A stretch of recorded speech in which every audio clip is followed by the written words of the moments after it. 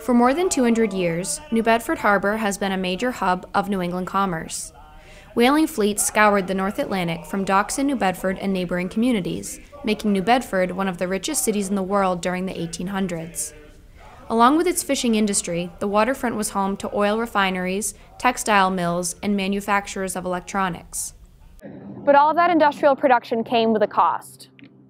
New Bedford Harbor is one of the nation's largest and most contaminated Superfund sites.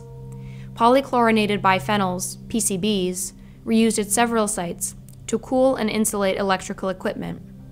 PCBs improperly dumped into the harbor from the 1940s to the late 1970s have left a legacy of contamination that persists today.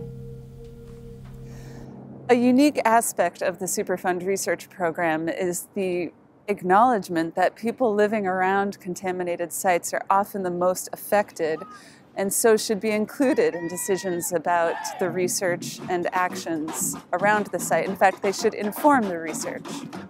PCBs are industrial chemicals that were manufactured for a variety of uses, uh, and in particular for use in the electrical industry.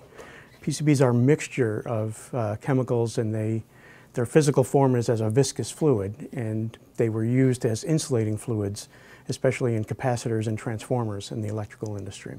The irony of New Bedford Harbor is that it's one of the most polluted places in the United States, and yet it's the most profitable fishing port in the United States as well. The fleet goes out every day, and yet we can't eat the fish in the harbor. Having one of the largest Superfund sites in the country is a tough thing, both from the residents' point of view for health and for the city's reputation.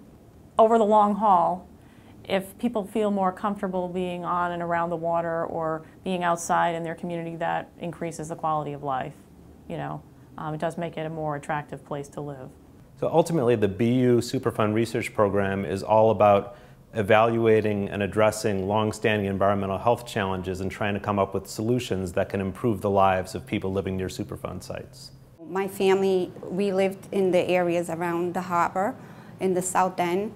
We started to um, learn more about the harbor and um, what was happening with the harbor. Um, we learned that it was con contaminated.